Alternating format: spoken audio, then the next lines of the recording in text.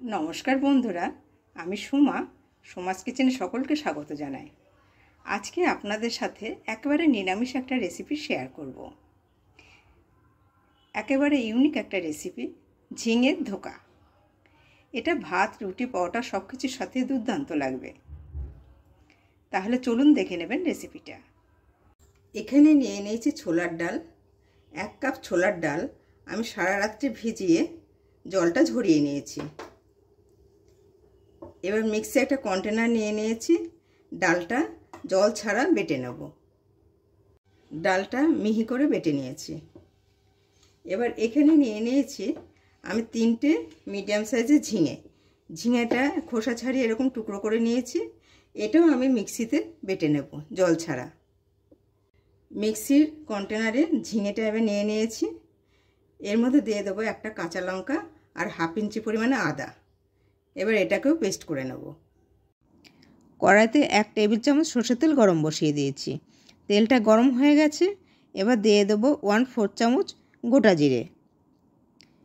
জিরেটা একটুখানি ভেজে নিলাম, এবার দিয়ে দেবো ওয়ান ফোর চামচ হিং। হিংটা একটু ভেজে নিলাম, এবার হাফ কাপ নারকোল কোড়া দিয়ে দেবো। নারকেল কোড়াটা খুব ভালো করে ভেজে নেব। নারকলের খুব সুন্দর ভাজা গন্ধ বেরোচ্ছে। এবার এর মধ্যে দিয়ে দেবো ঝিঙে বাটাটা।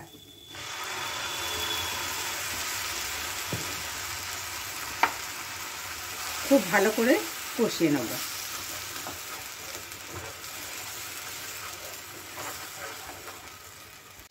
ঝিঙেটা পাঁচ মিনিট ধরে কষালাম। আর একটুখানি কষিয়ে কমিয়ে নিতে হবে জলটা। ঝিঙেটা ভালো করে কষিয়ে নিলাম। এবার এর মধ্যে দিয়ে দেবো ডাল বাটাটা। ডাল বাটাটা এর সাথে খুব ভালো করে মিশিয়ে নেব।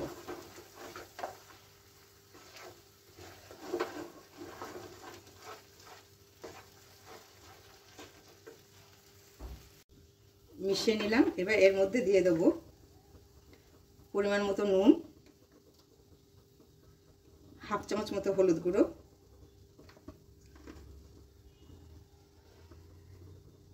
হাফ চামচ মতো জিরে গুঁড়ো। আর লঙ্কার গুঁড়ো দেব ওয়ান ফোর চামচ মতো দেব ওয়ান ফোর চামচ চিনি। দিয়ে খুব ভালো করে মিশিয়ে নেব। আমার রেসিপিটা যদি আপনাদের ভালো লেগে থাকে, তাহলে লাইক এবং শেয়ার করবেন। নতুন বন্ধু যারা আমার চ্যানেলটা এখন সাবস্ক্রাইব করেননি, তারা সাবস্ক্রাইব করে পাশে থাকা বেল আইকনটা একটু প্রেস করে দেবেন। তাহলে আমি যখন নতুন কোনো ভিডিও আপলোড করব, আপনাদের কাছে নোটিফিকেশান পৌঁছে যাবে। আর পুরনো বন্ধু যারা আমার চ্যানেলটা সাবস্ক্রাইব করে অলরেডি আমার পাশে আছেন, তাদেরকে অসংখ্য ধন্যবাদ। খুব ভালো করে নাড়তে হবে। যখন কড়াই থেকে ছেড়ে আসবে, তখন নামাতে হবে। আর একটুখানি নাড়তে হবে। এটা এবার মন্ড মতো তৈরি হয়েছে। কড়াই থেকে ছেড়ে আসছে। এবার এটা নামিয়ে নেব। থালা একটু সর্ষে তেল মাখিয়ে নিয়েছি, এবার মিশ্রণটা দিয়ে দিচ্ছি।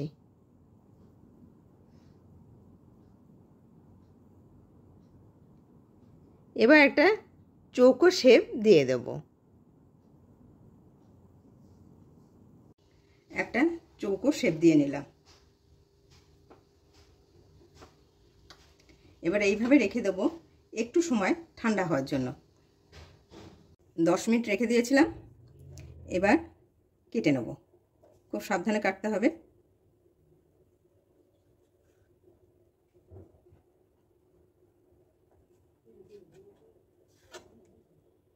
ধোকার শেপ দেবো, চৌকো শেপ দেবো।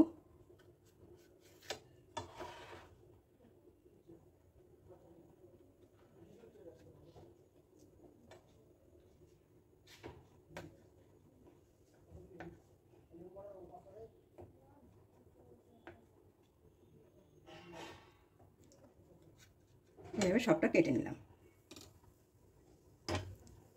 এরকম হবে। কড়াইতে কিছুটা সরষে তেল গরম বসিয়ে দিয়েছি। তেলটা গরম হয়ে গেছে। এবার ধোকাগুলো দিয়ে দেবো।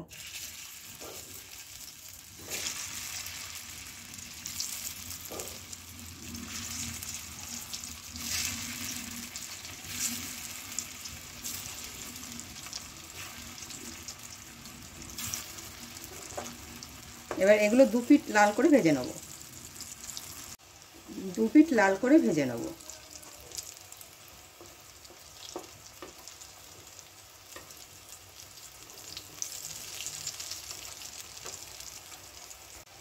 দু পিঠ লাল করে ভাজা হয়ে গেছে, এবার তুলে নেব। ধোকাগুলো সব একইভাবে ভেজে নিয়েছি। কড়াই এক্সট্রা তেলটা ঢেলে নিয়েছি। এবারে তেলের মধ্যে ফোড়ন দেব। দেব তিনটে শুকনো লঙ্কা আর গোটা গরম মশলা, দুটো তেজপাতা আর ওয়ান ফোর চামচ জিরে।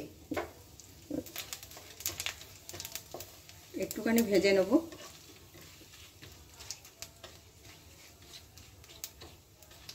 ফোড়নটা ভাজা গন্ধ বেরিয়ে গেছে। এবার দিয়ে দেবো ওয়ান ফোর চামচ হিং। মশলাটা খুব ভালো করে ভাজা হয়ে গেছে। এবার এর মধ্যে দিয়ে দেবো একটা বড় সাইজের আলু। ডুমো ডুমো করে কেটে রেখেছি, সেটা দিয়ে দিলাম।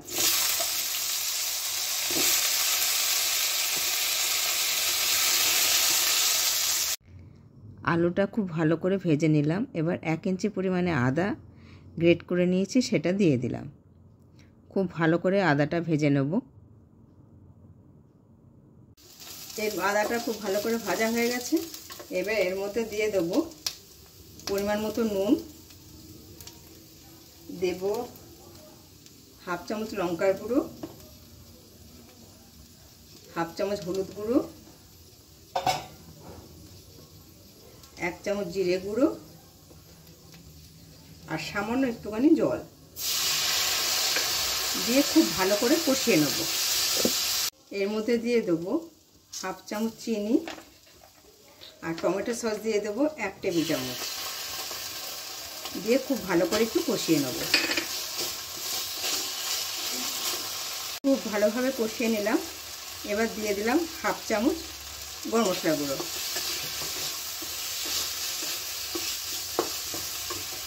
এবার দিয়ে দেবো জল। আলু সিদ্ধ হওয়ার মতো জল দেবো। জল একটু বেশি দিতে হবে, কারণ ধোকায় প্রচুর জল টানবে।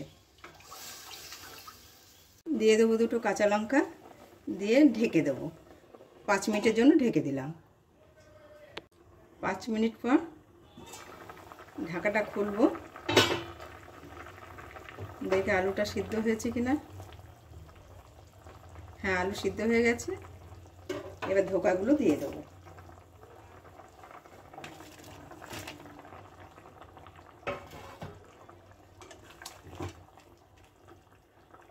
ধোকা প্রচুর জল টানবে হাই ফ্লেমে পাঁচ মিনিটের জন্য আবার ঢেকে দিলাম। পাঁচ মিনিট ঢেকে দিয়েছিলাম। ধোকাগুলো সিদ্ধ হয়ে গেছে। এবার এর মধ্যে মিশিয়ে দেবো। এক চামচ ঘি।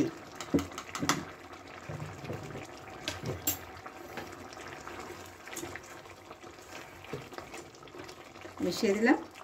হয়ে গেছে আমাদের। গ্যাস অফ করে দিলাম। আমার ঝিঙের ধোকা রেডি আবার আসব নতুন কোনো রেসিপি নিয়ে। সকলে ভালো থাকবেন, সুস্থ থাকবেন। নমস্কার।